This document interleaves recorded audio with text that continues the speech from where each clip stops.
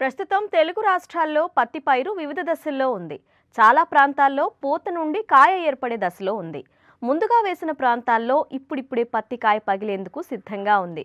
అయితే ఈ సమయంలో గులాబీ రంగు పురుగులు రైతులను తీవ్ర ఇబ్బందులకు గురిచేస్తున్నాయి వీటి నివారణకు ఎలాంటి సమగ్ర సస్యరక్షణ చర్యలు చేపట్టాలో తెలియజేస్తున్నారు మంచిర్యాల జిల్లా బెల్లంపల్లి కృషి విజ్ఞాన కేంద్రం శాస్త్రవేత్త నాగరాజు.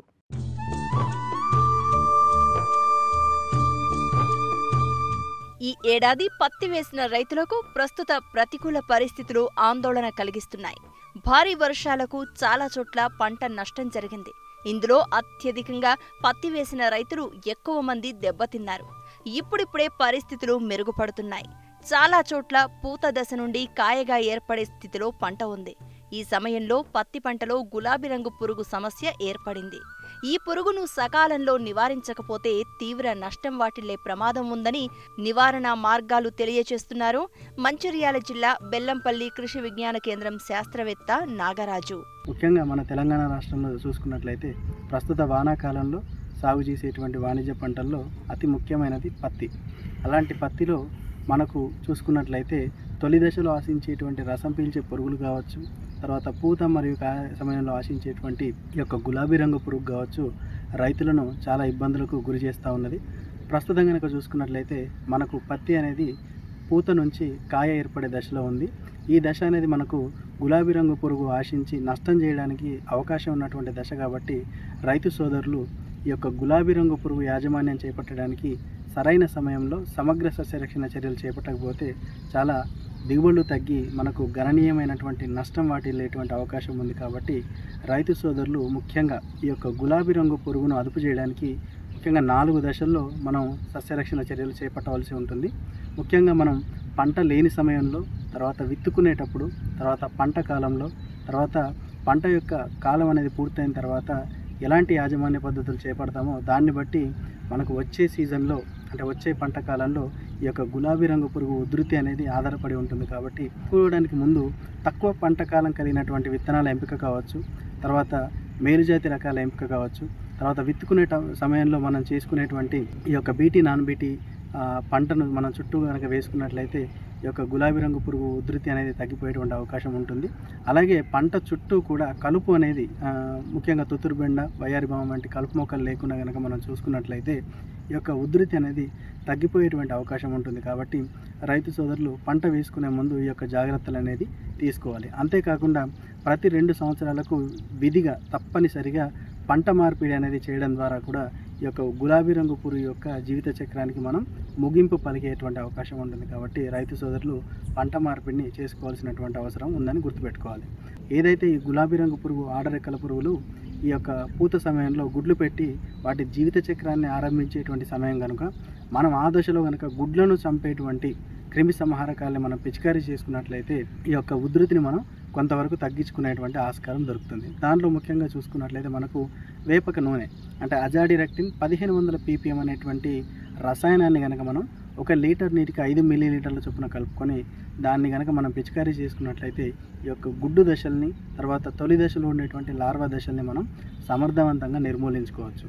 అంతేకాకుండా ప్రొఫినోఫాస్ తర్వాత థయోడికార్బ్ అనేటువంటి రసాయనిక క్రిమి సంహారకాలు కూడా ఈ యొక్క గుడ్డు దశల్ని తర్వాత తొలి దశలో ఆశించేటువంటి లార్వాల్ని సమర్థవంతంగా నిర్మూలించేటువంటి అవకాశం ఉంటుంది కాబట్టి అలాగే ఈ యొక్క గులాబీ రంగు పురుగు ఉధృతిని మనం గమనించుకోవడానికి ఎకరానికి నాలుగు నుంచి ఎనిమిది లింగాకర్షక బుట్టలను మనం ఏర్పాటు చేసుకున్నట్లయితే ఈ యొక్క పురుగు ఏ స్థాయిలో ఉంది? అంటే మన చేనులో ఆర్థిక నష్టపరిమితి ఆ స్థాయిలో ఉందా?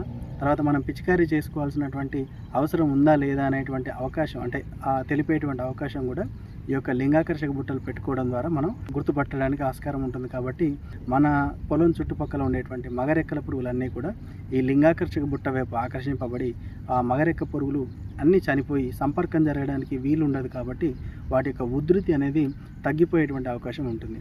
అలాగే బుట్టల్లో పడేటువంటి మగరెక్కల పురుగుల సంఖ్య అంటే రోజుకు ఏడు నుంచి ఎనిమిది మగరెక్కల పురుగుల చొప్పున మూడు రోజులకు గనక ఇరవై నాలుగు పురుగులు కనుక మన బుట్టల్లో పడినట్లయితే మనకు పిచికారీ చేసుకోవాల్సిన అంటే రసాయనిక క్రిమి సంహారకాలు పిచికారీ చేసుకోవాల్సిన అవసరం ఉంది. పురుగు అనేది ఆర్థిక నష్టపరిమితి స్థాయిలో ఉంది అనేది మనం గుర్తుపట్టడానికి తోడ్పడుతుంది. అలాగే మనం చైన్లో చూసుకున్నట్లయితే ఇక గుడ్డి పూలు ఇక గులాబీ రంగు పురుగు ఆశించినటువంటి పూలు అనేటివి విచ్చుకోకుండా శంఖాకారంలో ఉండి గుడ్డి పూలుగా మారేటువంటి అవకాశం ఉంటుంది కాబట్టి పది శాతం గుడ్డి పూలను గమనించినప్పుడు లేదంటే కాయ ఏర్పడే దశలో మనం అక్కడక్కడ ఒక పది నుంచి ఇరవై కాయల్ని మనం తీసుకున్నట్లయితే దానిలో ఒక పది కాయల్లో కనుక ఒక కాయ కనుక ఈ గులాబీ రంగు పురుగు ఆశించి నష్టం కలగజేస్తే దాన్ని మనం ఆర్థిక నష్టపరిమితి స్థాయిగా గుర్తించి వెంటనే రసాయనిక క్రిమి సంహారకాలు పిచికారీ చేసుకున్నట్లయితే మనకు ఈ యొక్క గులాబీ రంగు పురుగు ఉధృతిని చాలా వరకు అరికట్టవచ్చు. దాంట్లో ముఖ్యంగా మనం చూసుకున్నట్లయితే క్లోరంటర్ అనే లిప్రోల్ ఒక సున్నా పాయింట్ మూడు మిల్లీలీటర్లు కావచ్చు ఎమామెక్టిన్ బెంజోయిట్ సున్నా పాయింట్ ఐదు గ్రాములు కావచ్చు తర్వాత స్పైనటోరం పాయింట్ సున్నా పాయింట్ తొమ్మిది మిల్లీలీటర్లు కావచ్చు తర్వాత స్పైనోసైడ్ సున్నా పాయింట్ నాలుగు మిల్లీలీటర్ల చొప్పున కనుక మనం రసాయనిక క్రిమిసంహారకాలు పిచికారీ చేసుకున్నట్లయితే ఈ యొక్క గులాబీ రంగు పురుగు యొక్క అన్ని దశల్ని కూడా మనం సమర్థవంతంగా కంట్రోల్ చేసుకోవచ్చు. కాబట్టి రైతు సోదరులు ఈ జాగ్రత్తలు పాటించాలి. అలాగే ఎట్టి పరిస్థితిలో కూడా ఇది శీతాకాలం పురుగు కాబట్టి దాని జీవిత చక్రాన్ని ఈ చలికాలంలో పెంపొందించుకుంటూ ఒక దశ నుంచి ఇంకో దశకు వెళ్ళి దాని చ- జీవిత చక్రాన్ని పొడిగించుకుంటుంది కాబట్టి ఎట్టి పరిస్థితుల్లో కూడా డిసెంబర్ తర్వాత పత్తి పంటను పొడిగించకుండా నీటి వసతి ఉన్న చోట ఇతరత్ర పంటలతోటి కనుక మనం పంట మార్పిడి చేసుకున్నట్లయితే మనకు ఈ గులాబీ రంగు పురుగు యొక్క జీవిత చక్రాన్ని అరికట్టి వచ్చే పంట కాలంలో దీని ఉధృతిని తగ్గించుకోవడానికి చాలా వరకు ఉపయోగపడుతుంది కాబట్టి రైతు సోదరులు ఈ జాగ్రత్తలు పాటించి గులాబీ రంగు పురుగు యొక్క ఉధృతిని సమగ్ర యాజమాన్య పద్ధతుల ద్వారా అరికట్టగలుగుతారని ఆశిస్తున్నాం.